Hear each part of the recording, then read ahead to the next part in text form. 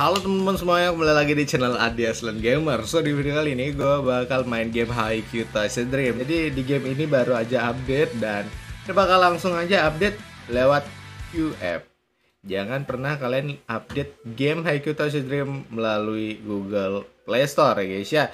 Langsung saja bukan Japanese tapi yang versi Korean. Ini ya versi Korean kita bakal update ya. Ternyata update-nya 22 MB-an ya guys ya Oke, let's go. Langsung saja kita bakal update sebentar dan masuk lagi ke gamenya. Tapi gamenya gue restart dulu ya.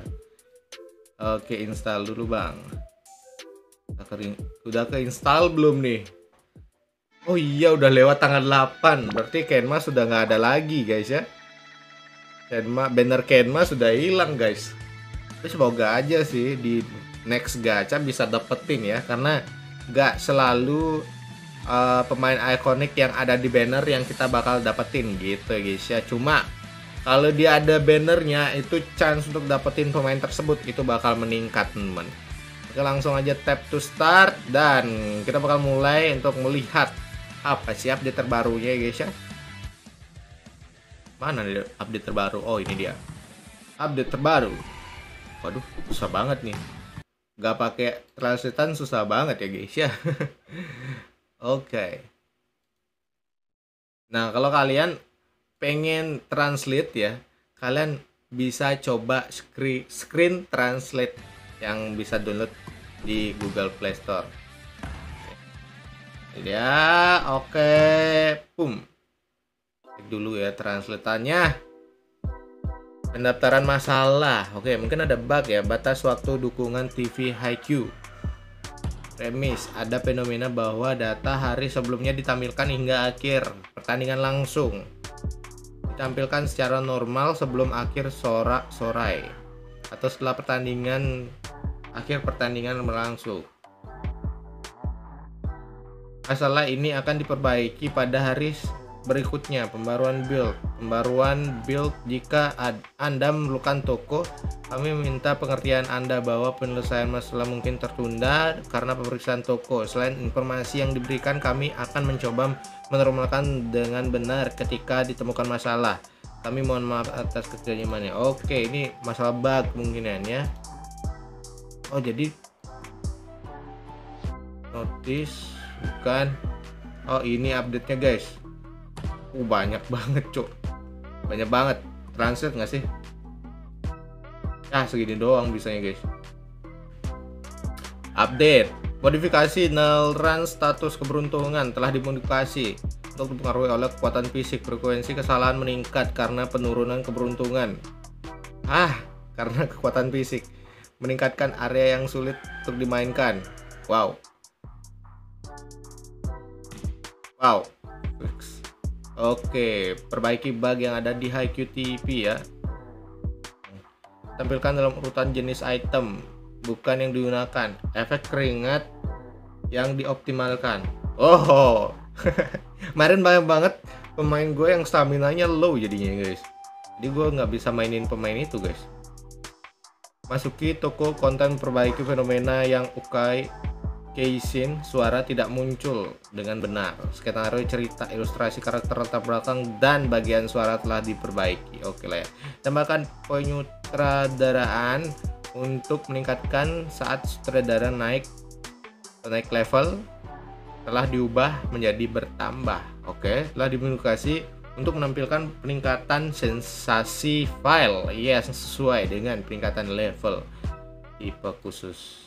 Oke guys, jadi kita langsung aja bakal lihat langsung ke game ya. Kalau kalian belum tahu gimana sih caranya untuk uh, main di Haikyuu TV guys, kalian masuk aja nih. Ada di Haikyuu TV. Kayaknya kalau nggak salah ini di level 13 ya. Kita bisa ngebukanya. Terus kita bisa salah uh, dukung salah satu tim. Kalian mau tim kanan atau yang kiri gitu. Langsung 100. Nih, gua ambil yang tim kiri ya. Oke, langsung dapat hadiah. Let's go dapat hadiah. Tambahin lagi 100. Kita punya 3600 guys. Tuh. Tuh. Tuh. Tuh habisin aja udah. Lumayan ya kan dapat kita koleksi pemain guys ya.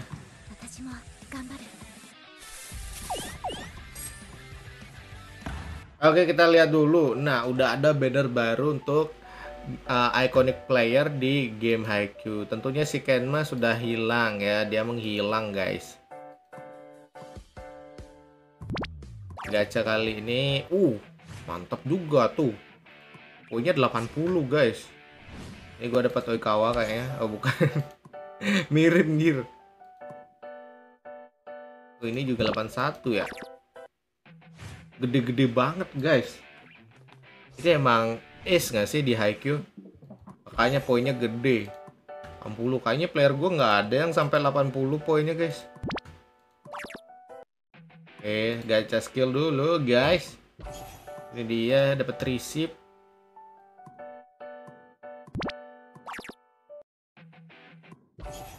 Oh nice. Coba bakal lihat dulu player deck gue ini mentok di 50 eh 60 ada kok. Ada kok 60 pengen dapat yang 80-an itu gimana ya guys ya? Enak kayaknya. Oke. Okay. klaim-klaim dulu hadiahnya guys ya. Nice one. Mantap banget. Banyak lagi hadiah gue nih. Jangan lupa buka message ya. Siapa tahu di sana itu ada hadiah poin gacha nanti kita dapetin banyak banget jadinya. Tuh kan? Bener poin gacanya GG guys dapat 1300 Oke, gue bakal masuk ke stage selanjutnya. Kita bakal main lagi, guys. Ini full iconic nggak nih? Gak usah lah ya. Gue punya libero satu yang poinnya 65, guys. Dan kita bisa coba langsung spesialnya untuk keluarin skillnya dia. Oke, Oikawa memang dia ini uh, iconic skill satu-satunya hanya di serve doang ya guys ya. Oke, kita lihat dulu. Hampir lupa gue harus dapatkan bintang nih. Oke, gue coba ya aktifkan special skill Lebiro gue nih.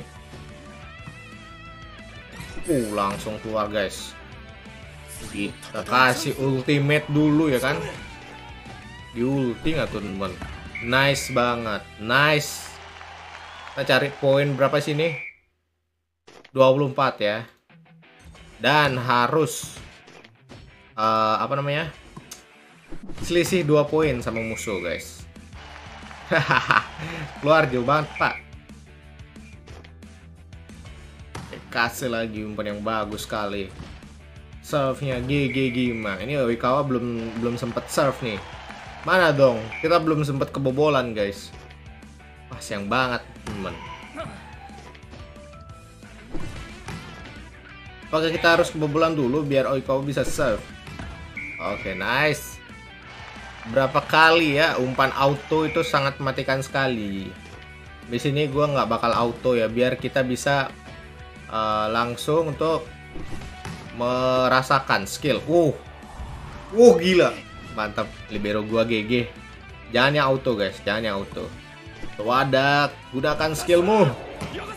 Wow, ini match full dengan iconic guys.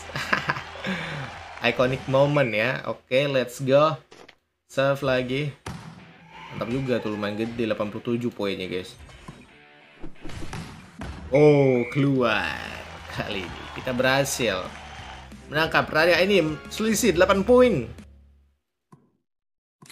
walaupun nggak sempet bintang 3 ya tapi nggak apa-apa lah ya. Oke let's go. Mister Toada yang MVP uh Tetap juga nih libero gua ikoniknya GG juga nih guys. Oke menjadi segitu dulu untuk gameplay dari Haikyuu Touch Dream dan juga info update dari game ini. Nah kalian bisa langsung aja update di QF ya guys ya. Untuk versi Jepang ataupun versi Korea. Nah, kalau kalian mau tahu gimana cara gue translate bahasa kayak yang tadi, kalian bisa langsung aja komen ya, dan nanti bakal gue buatin tutorialnya, teman-teman. So, terima kasih banyak teman-teman yang sudah nonton video ini. Jangan lupa juga like videonya agar channel ADX semakin berkembang. So, akhir kata thanks for watching and see you in the next video. Goodbye.